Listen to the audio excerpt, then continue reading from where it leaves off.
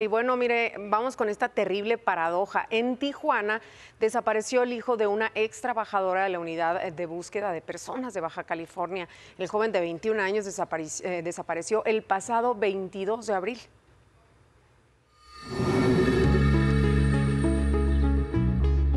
Lo que yo más le temía en la vida se hizo realidad.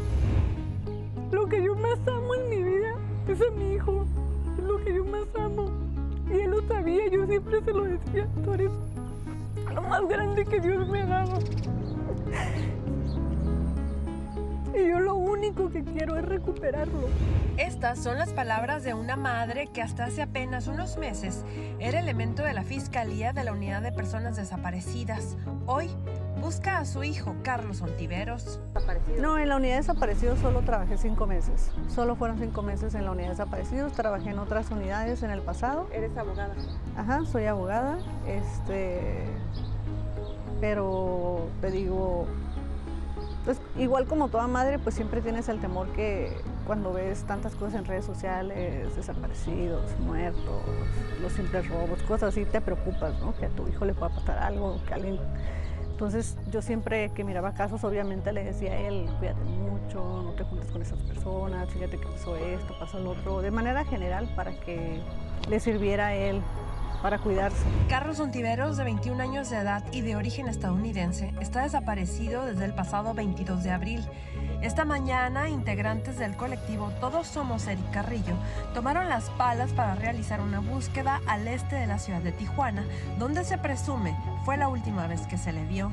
Pues siguen a la alza los, las desapariciones en todo el estado de Baja California y pues seguimos con esto, ¿no?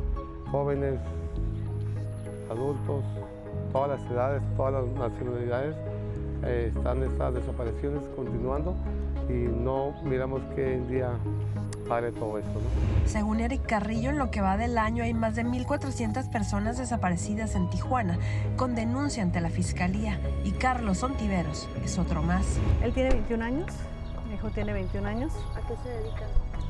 Él este, compraba pallets de ropa y vendía ropa, tenía unas amigas que le ayudaban en eso. Este, también llegaba a vender algunos carros que compraban y vendían. Y, este, y algunos días iba al otro lado a trabajar en construcción. Ah, ¿era estadounidense? Sí, eh, él es nacido aquí en, en San Diego, es ciudadano americano. Yo no soy ciudadana americana, yo soy mexicana. Pero pues él podía ir. Eh, ajá, él podía ir y venir. Jóvenes de todas las edades, de diversos orígenes, y esto no para, dicen los integrantes de la fundación. Todos somos Eric Carrillo. Informó en Tijuana para Imagen, Yolanda Morales.